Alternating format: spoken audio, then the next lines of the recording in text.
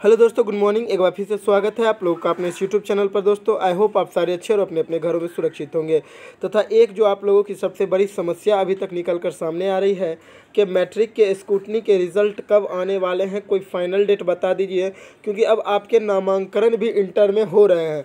तो आप लोगों को टेंशन नहीं लेना है, क्योंकि अब आपके पास एक सटीक और सही जानकारी न्यूज़ निकल कर सामने आ रही है, जो कि ऑफिशियली बोर्ड के द्वारा अनाउंस की गई है, ना कि किसी अन्य चैनल पे या ब्लॉग पे या किसी प्राइवेट वेबसाइट पे ऐसी कोई जानकारी नहीं है। यहाँ पर आप लोग ये पेपर देख सकते हैं, यहाँ पे साफ़ साफ़ क्लियर लिखा गया था और ये पेपर पहले ही बता दूँ, ये पेपर पर मैं एक बार और वीडियो बना चुका हूँ, लेकिन वो पेपर में मैं उतना वीडियोस डायरेक्टली या डीपली नहीं बता पाया था। इसका मेन रीज़न था कि उस समय तक नामांकन की प्रक्रिया स्टार्ट नहीं हुई थी। लेकिन अब आप लोग यहाँ से देख सकते हैं कि मैट्रिक की स्कूटनी ग्यारह ग्यारह से शुरू होगी और पंद्रह दिन तक चलेगी। ये वीडियो में मैं पिछले भी वीडियो में बता चुका था कि पंद्रह तक एंड हो जाएगी। तो अब आपके रिज़ल्ट से संबंधित जो इन्फॉर्मेशन है वो समझ लीजिए।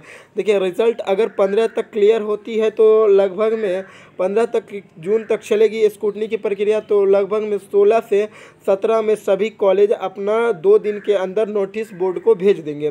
तो रिज़ल्ट में भी जैसे कि रिज़ल्ट बहुत अलग अलग कॉलेजों में कॉपी जाते हैं आपके चेक होने के लिए, क्योंकि यहाँ पे साफ़ कहा अगर आप लोग पूरा पेपर पढ़ोगे या पिछला वीडियो नहीं देखा है तो क्लियरली पिछले वीडियो की लिंक डिस्क्रिप्शन में मिलेगी।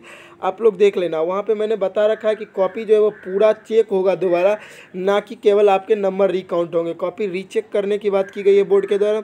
तो वहाँ पे कॉपी रीचेक आपकी हो जाएगी। तो जब रीचेक होगी तो अलग अलग कॉलेजों में कॉपी जाएँगे अलग अलग स्कूलों में कॉपी जाएँगे और वहाँ से मिनिमम दो दिन में रिज़ल्ट आपके प्रोवाइड करा दिए जाएँगे। यानी पत्र, पंद्रह से लेकर सत्रह तक आपके कॉलेजेस में रिज़ल्ट आ जाएँगे। तो मे बी रिज़ल्ट अट्ठारह या उन्नीस को मेक श्योर हंड्रेड प्रतिशत श्योर रखिए। पहले मैं सत्रह बोल रहा था, मुझे लगा एक दिन जाएगा, लेकिन जब पता किया तो बोला कि लगभग दो से तीन दिन कॉपी आने में लग जाते तो मे बी रिज़ल्ट आपके अट्ठारह से उन्नीस को मेक श्योर रखिए कन्फर्म आ जाएँगे। देन उसके बाद आप जैसे ही रिज़ल्ट आएँगे, आप लोग अपना एडमिशन के लिए ऑनलाइन करा दीजिएगा। और किस यूनिवर्सिटी में एडमिशन लेना चाहते हैं, हमें वो भी बता दीजिएगा, क्योंकि उस यूनिवर्सिटी की अब कल से एडमिशन से संबंधित डेली डेली वीडियो आपको देखने को मिल जाएगी। तो मिलते हैं हम आपसे अगले वीडियो में, तब तक के लिए जय हिंद, जय भारत, दिन आपका सुबह धन्यवाद।